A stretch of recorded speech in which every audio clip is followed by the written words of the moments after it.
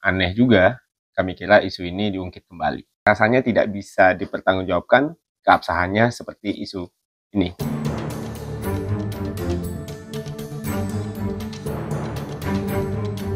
Konfirmasi bahwa sikap-sikap ketua umum partai, beberapa partai yang menyuarakan itu, saat itu dikatakan ya sebagai permintaan Pak Lurah. Kami mendengar itu.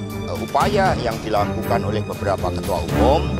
Saat itu yang saya dapat informasinya, ini bisa di cross check, saya pertanggungjawabkan secara politik hukum dan juga di hadapan Tuhan yang kuasa di hadapan rakyat Indonesia bahwa itu memang ada.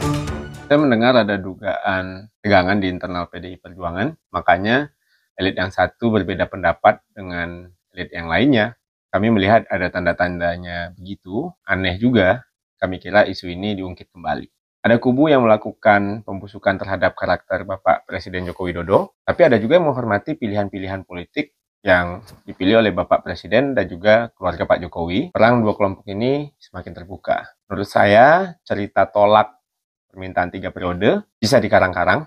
Intinya bukan itu. Itu yang saya dengar, saya salah tentunya. Intinya, kami yakin dari dulu Pak Jokowi tidak baper soal politik, lawan tarungnya saja dirangkul oleh beliau. Apalagi dituduhkan isu seperti yang rasa-rasanya tidak bisa dipertanggungjawabkan keabsahannya seperti isu ini. Terima kasih.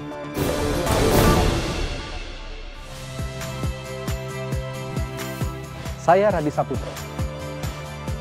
Saksikan program-program Kompas TV melalui siaran digital, pay TV dan media streaming lainnya.